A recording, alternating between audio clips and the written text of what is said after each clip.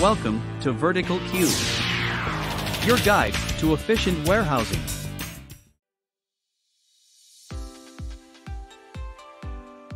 This video will show you how to create goods receipt through SAP. Open your SAP software and go to MIGO Goods Movement. After executing MIGO, choose Goods Receipt, choose Purchase Order. Then, enter your PO number. Can you follow? If not, pause the video and try to understand carefully. Next is to press the Enter key on your keyboard to transfer material to the Item Overview section. 1. Fill document date with the date in the supplier invoice. While you should keep the default date in the posting date section. 2. Type the delivery note number. 3. Type the PO number in the bill of lading space. 4. Type the name and ID of the employee who received the materials. 1. On the line item, manually enter actual quantity you received. 2. Type the storage location if asked. For example, 1000. 3. Write a short text. See the example seen on your screen. 4. Tick the box after filling in all the information required. Then press the button Check. And if a menu like this appears and contains information with yellow triangle, just ignore and click the green check. After reviewing and making sure your data is accurate, you can flag the items as OK, you can post the document by click that Post tab.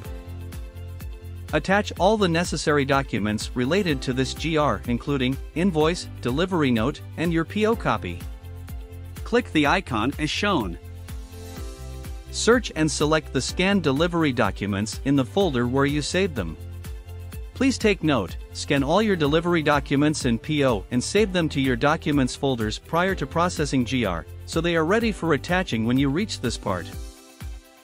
Click Allow. And click another Allow tab again. Successful attachment will be indicated as shown.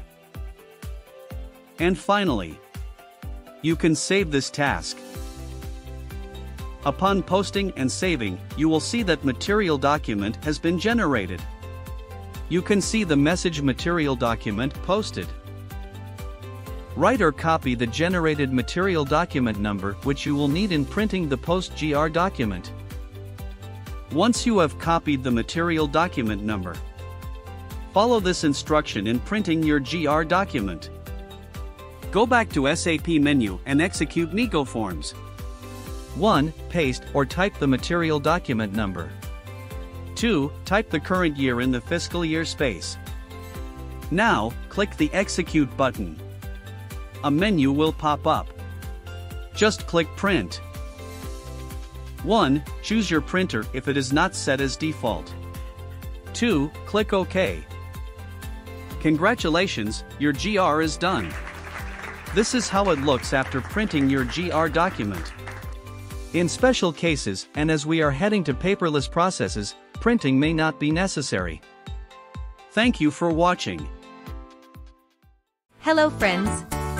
Please subscribe to this channel if you wish to see more videos about other SAP processes, like canceling of goods receipt and goods issue, creating purchase requisition, processing STO or stock transfer order, and other goods movement processes. Once again, please like this video, subscribe to this channel, and hit the bell button. Thank you.